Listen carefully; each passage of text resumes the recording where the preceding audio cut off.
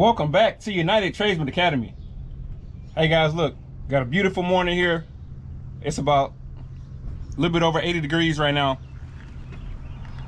That panel right back over there is missing a main breaker. Maybe somebody stole the main breaker. Maybe somebody just took it out and never put it back in. But look, this building, they want to get the power on.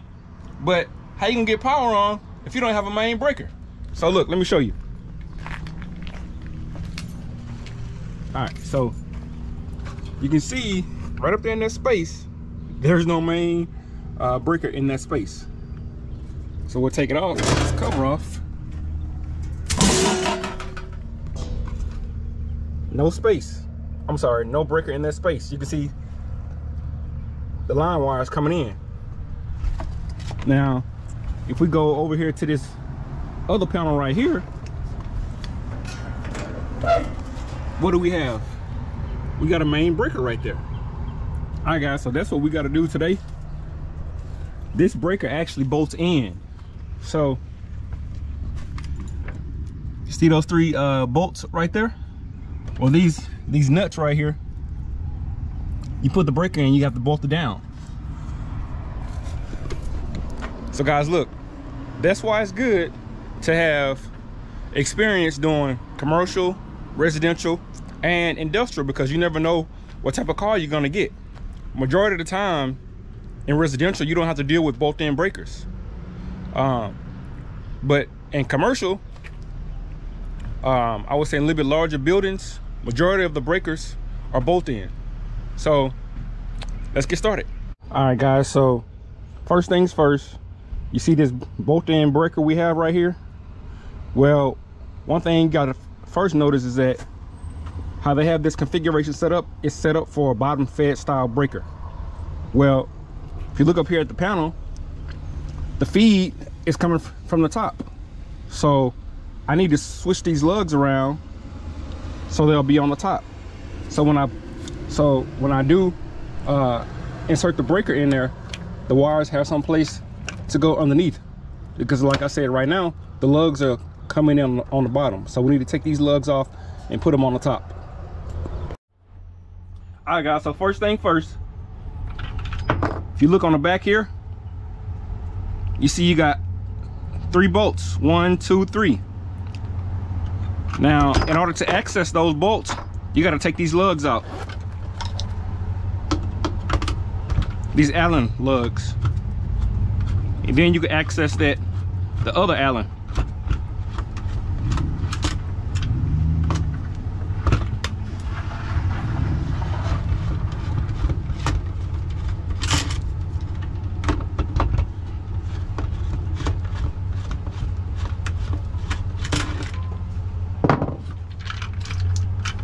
take those ones out.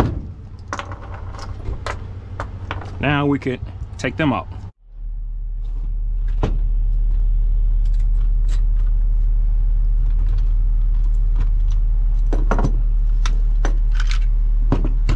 All right that's one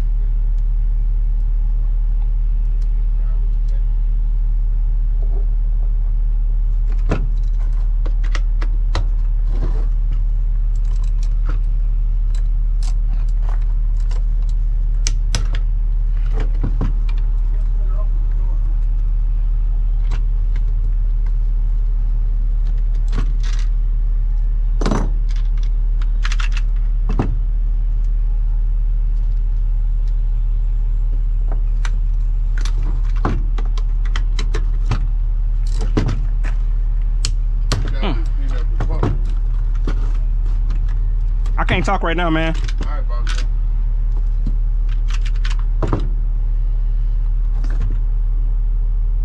All right, so we got them all out from the bottom right here. Now we need to put them on the top right here. So you got these two little, you got one cutout right here, one cutout right here. They go in right on one little lip, one on the other lip. I'll go in, sit in just like that.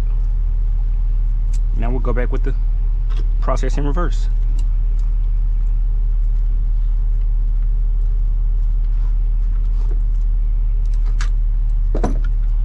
See?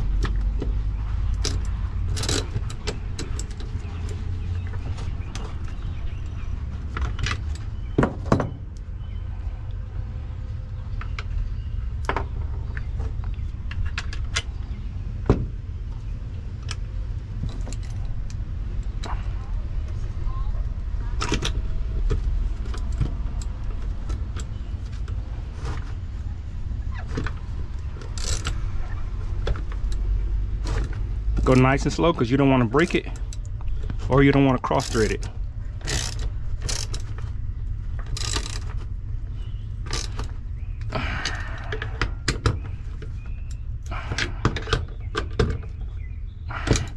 Let's see if there's a torque setting.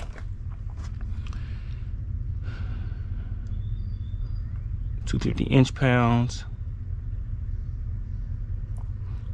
So it says right here, mounting torque mounting screw to 150 inch pounds. All right, guys. So my torque wrench it shows it in foot pounds, not inch pounds. So basically, basically, I'm getting a, a conversion 150 inch pounds equals 12.5 foot pounds. So let's set the torque wrench to 12.5 inch pounds.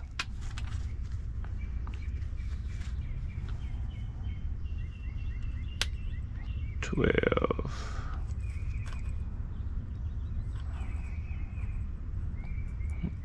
Right there.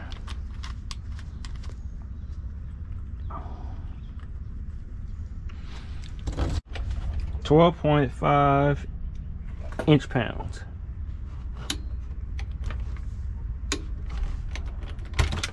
Don't take a lot on this. On these, you don't want to over tighten.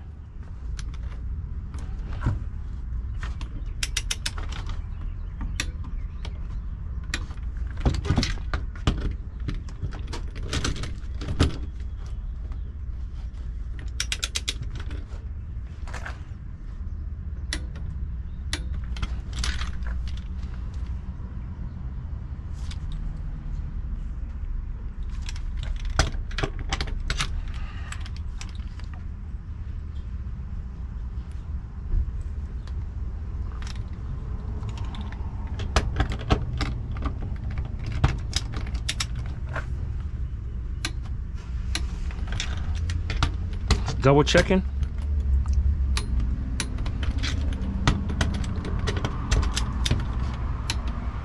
All right. Normally I would use some uh some real actual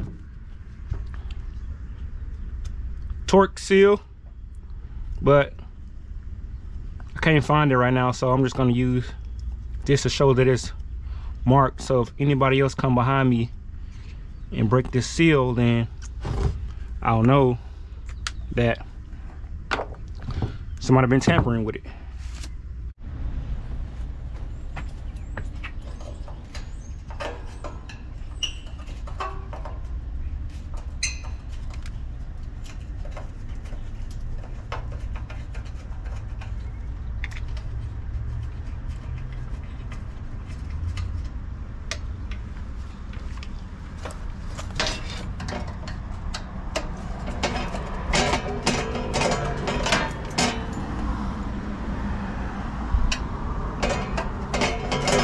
Taking this cover off right now so I have more room to work with inside of here. I won't have to bend down and all that stuff.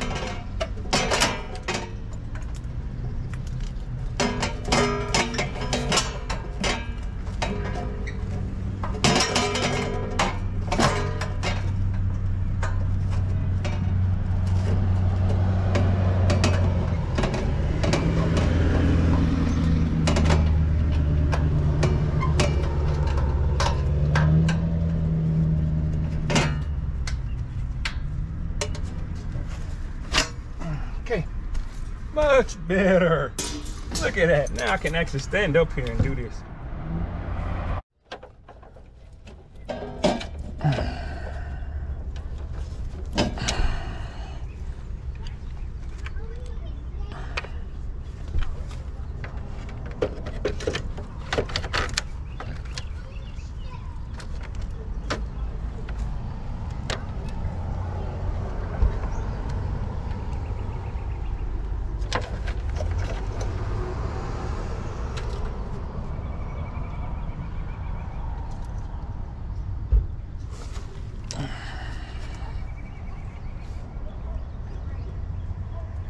You know what this socket is too deep for me to try and get that all the way in there like that so By the time I get the the socket all the way in there, the nut is gonna be all the way back here. So I need to use a different, um, I need, need, I need to use a more shallow socket. All right guys, so I'll just use this just to get it started.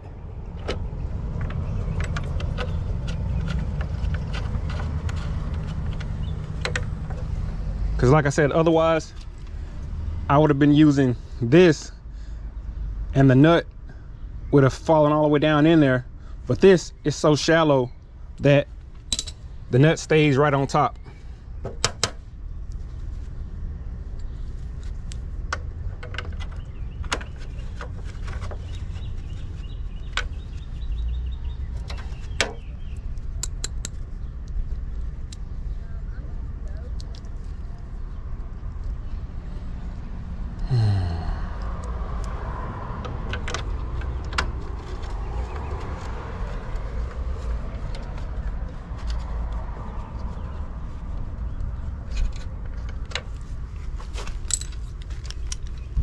So I'm gonna torque this to 12 inch pounds also.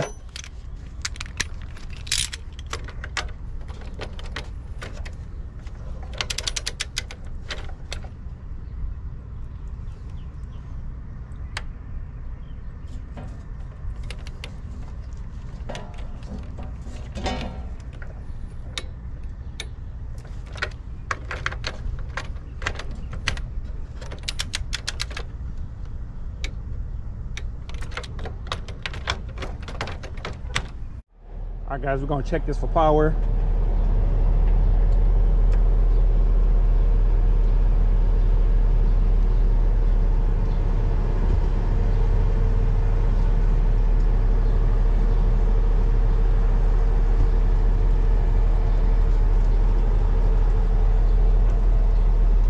No power.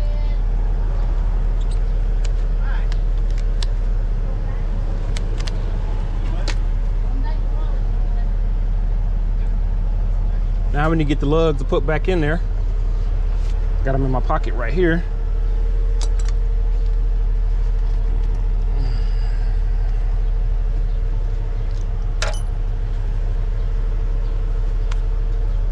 Okay, so on the lugs, it says we're gonna torque them to 200 foot-pounds and we have to convert that over to inch pounds. I'm sorry. It says 200 inch, 200.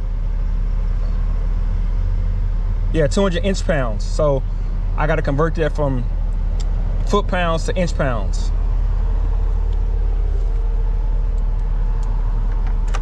Just go ahead and put these in there for right.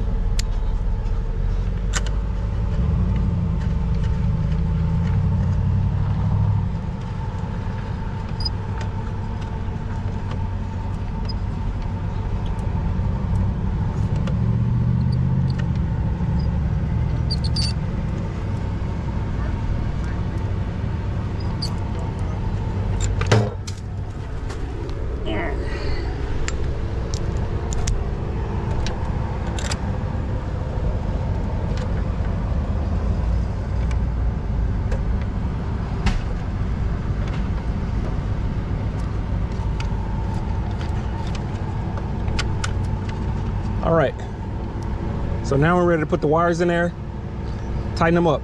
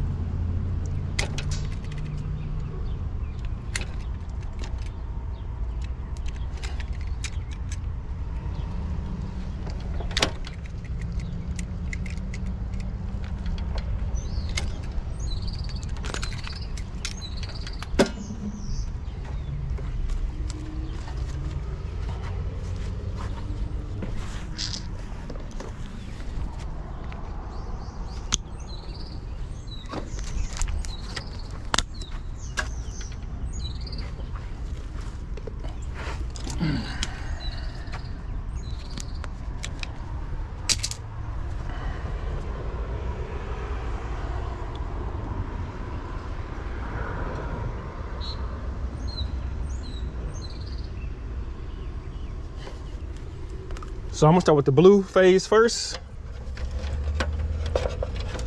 It's gonna be black, red, blue.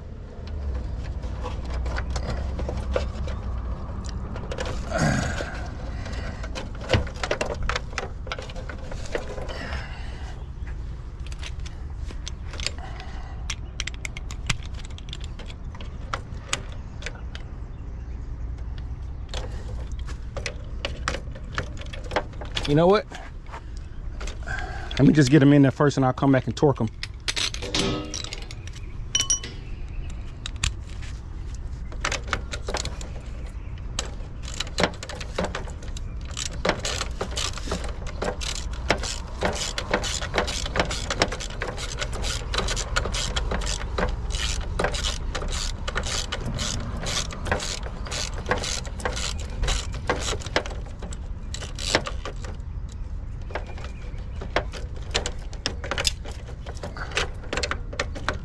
Okay, that's good enough on that one.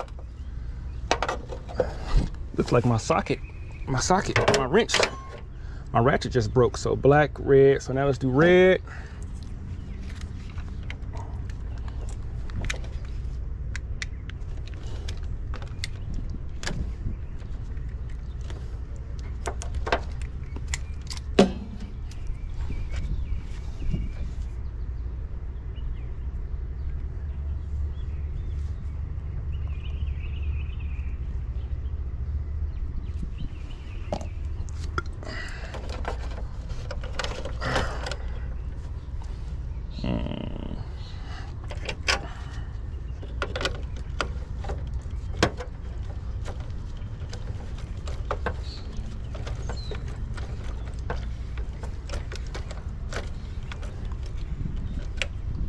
Do black right there.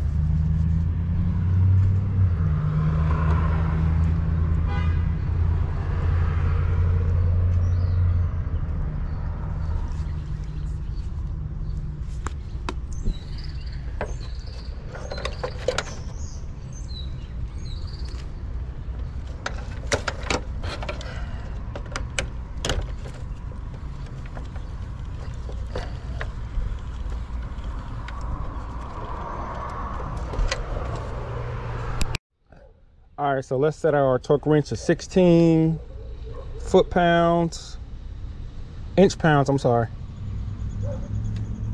16 is right there.